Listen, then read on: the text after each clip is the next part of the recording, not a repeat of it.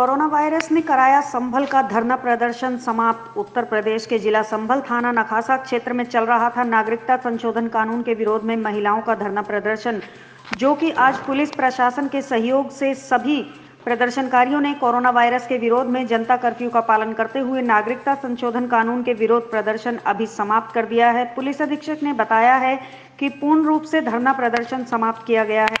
जनपद संभल में 22 तारीख से एक सीए के अगेंस्ट में प्रोटेस्ट चल रहा था। जिसको बातचीत करके और पुलिस प्रशासन की उपस्थिति में उसको समाप्त करा दिया गया है। वहाँ पे प्रशासन ने सभी से वार्ता की है और सभी को बताया है कि कोरोना वायरस का जो इस समय प्रकोप चल रहा है, उसको देखते हुए और जनता की समस्याओं को देखते हुए इसको समाप्त कर दिया जाए। तो वहाँ पे प्रशासन की उपस्थिति में सभी समाप्त कर दिया गया है।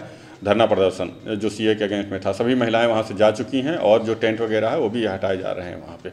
सभी हटा दिए गए हैं और सभी लोग मिल करके ये कोरोना वायरस से लड़ाई करेंगे। सभी लोग अपने घरों में रहेंगे। कोई कहीं अनावश्यक रूप से बाहर नहीं जाएगा और जो इसके प्रोटोकॉल हैं, उसका पालन करेंगे, जो डब्ल्यूएचओ के प्रोटोकॉल हैं। आप सभी के चैनल के माध्यम से मैं अपील भी करना चाहता हूँ कि सभी लोग इसके प्रोटोकॉल को पालन करें, अनावश्यक रूप से कहीं बाहर न निकलें।